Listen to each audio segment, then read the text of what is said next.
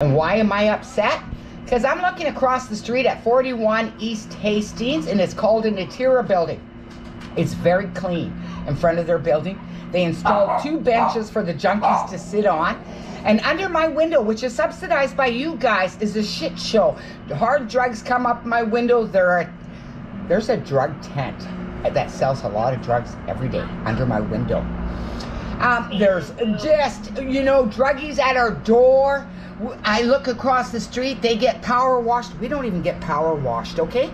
We've been power washed maybe four times during the whole pandemic, and we got people pooping and peeing on our streets. I'm so upset with BC Housing subsidizing this kind of shit show. I want to know who I can call to make a complaint. I've already done the city, I've done all the politicians, I phone the police every freaking day here so that I don't have to inhale hard drugs at 61 years old.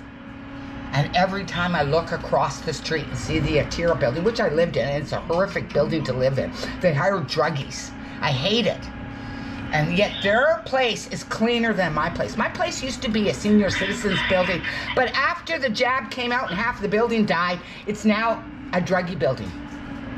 So who can I call to complain that you're subsidizing this crap?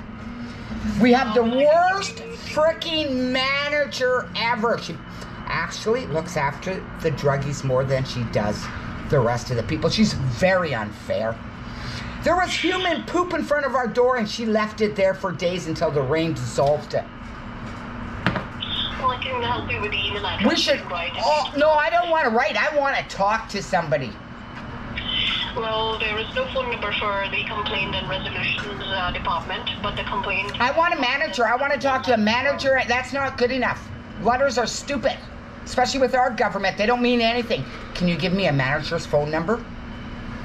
Well, unfortunately, there is no phone number I can direct you to. Oh, you're fucking lying. You're fucking lying. I'm going to go back to my video and get the phone number from my YouTube channel, and you